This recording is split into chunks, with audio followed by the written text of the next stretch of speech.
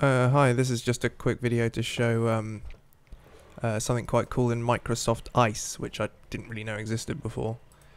Um, and it, it's good for creating sort of like uh, photos that look like they're taken with a, a really big sensor camera, like a medium format or something like that. So I've uh, taken a video. Uh, just try to make this a bit smaller. Of just um, a scene, just sort of uh, moving the camera around just to cover a larger field of view, but in video.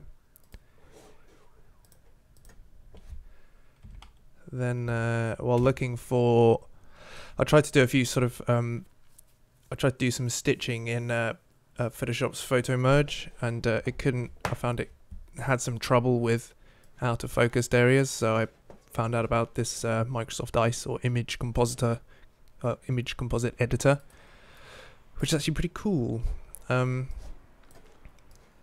because you can do this kind of thing as well. If, uh, uh, no, it's broken.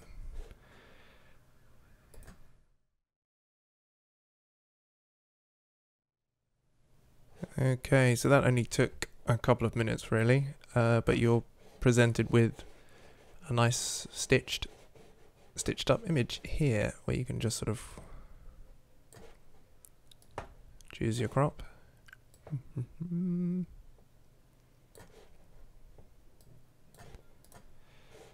Export to disk. Shotgun desktop. And here's the kind of effect you're left with, which is the same shallow depth of field from quite a, a long telephoto, a long telephoto with a wide aperture, uh, but with a much wilder, much wider field of view. Uh, I think I'll probably kind of kind of find this quite useful for capturing environments um, quite quickly with the using video rather than taking stills, as I found that uh, usually I don't take enough stills, or by the time I've taken a, a, sequence of stills, the scene has changed or something like that. Anything I suppose you have to take into account is you have to be at a fairly high shutter speed while moving the camera around, depending on how fast you move the camera to, so you don't get motion blur. But uh, yeah, that's about it. Thanks.